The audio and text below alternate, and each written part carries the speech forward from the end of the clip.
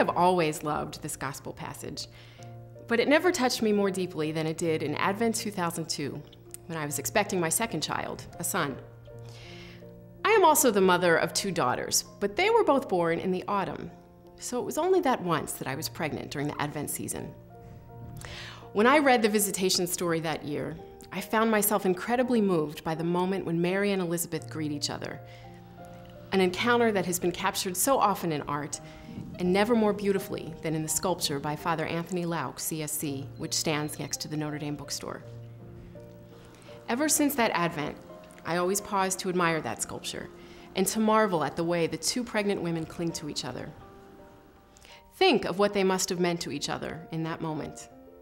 As a young girl, pregnant for the first time, Mary must have been puzzled by the changes in her body and frightened of what lay ahead on the path she had agreed to follow. No wonder she made such haste to Judea. How happy she would have been to turn to her older, wiser cousin, a person she trusted, a person who had very likely already offered her guidance in the mysteries of womanhood. What a relief it must have been to Mary to throw her arms around her cousin to feel the roundness of Elizabeth's belly next to her own, which would have only just begun to swell with the tiny body of God's Son. I picture Mary's anxiety melting away so that when she emerges from that embrace, reassured and comforted, her very first thought is to give glory to God. But the joy of that greeting was not Mary's alone.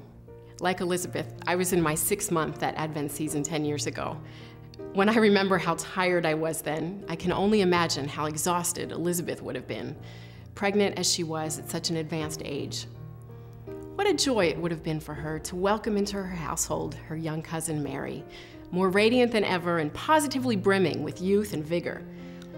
As Elizabeth's baby leapt in her womb, I imagine she felt more energetic than she had in months.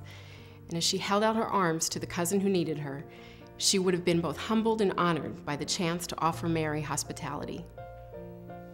Imagine what it must have been like for Elizabeth to know that she was providing solace to the person who, in a few short months, would be the means of providing solace to the entire world.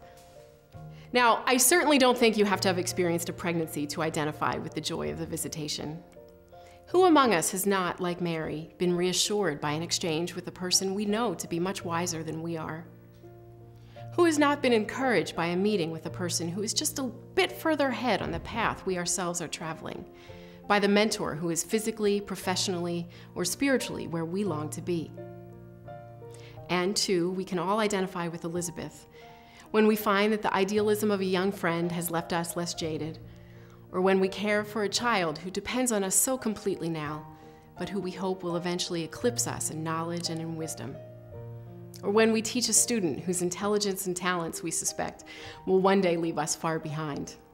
So, for me, in this gift giving season, the message of the visitation has to do with being grateful for the gifts we are to each other, in brief encounters and in more extended ones.